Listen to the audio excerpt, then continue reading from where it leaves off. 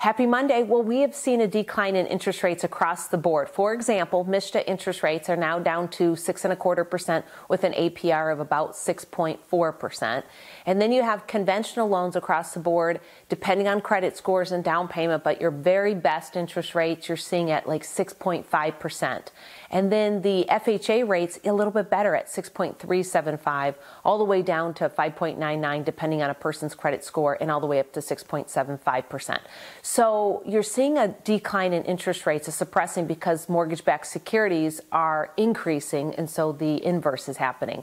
Also, you're seeing that um, our government is printing money to help bail out banks, which is causing interest rates to be suppressed downwards. So, MSHA rates are down, permanently changed for the next probably 90 to 120 days to six and a quarter percent, where FHA rates and conventional rates, along with VA, USDA, all of those rates have also come down to the mid sixes. This is Dawn Connors at Mortgage One, providing you fantastic mortgage solutions and also market updates for your lending needs.